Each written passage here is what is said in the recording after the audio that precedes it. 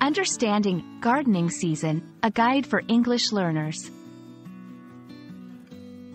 Hello everyone. Today, we're going to explore a common English phrase, gardening season.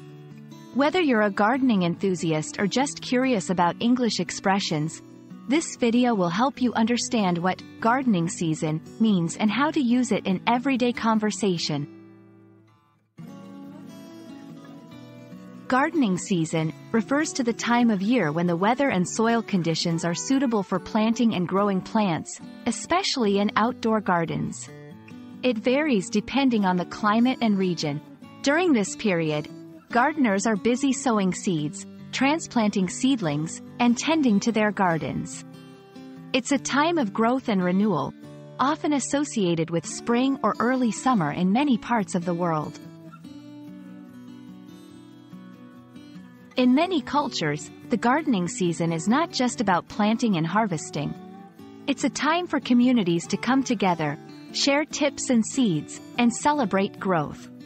Many festivals and community events are centered around the start or peak of the gardening season. It symbolizes a connection with nature and the cycle of life.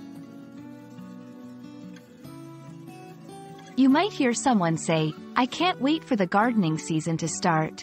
I've got so many plans for my garden. Or, the gardening season this year was great. We had a lot of rain and sunshine. Understanding this phrase can help you engage in conversations about hobbies, weather, and even local customs. We hope this video has shed light on what gardening season means and how it's used in English-speaking cultures. It's a phrase that connects us with nature and community. Whether you're planning to start a garden or just learning English, knowing such phrases can enrich your understanding of the language and culture. Happy gardening and happy learning!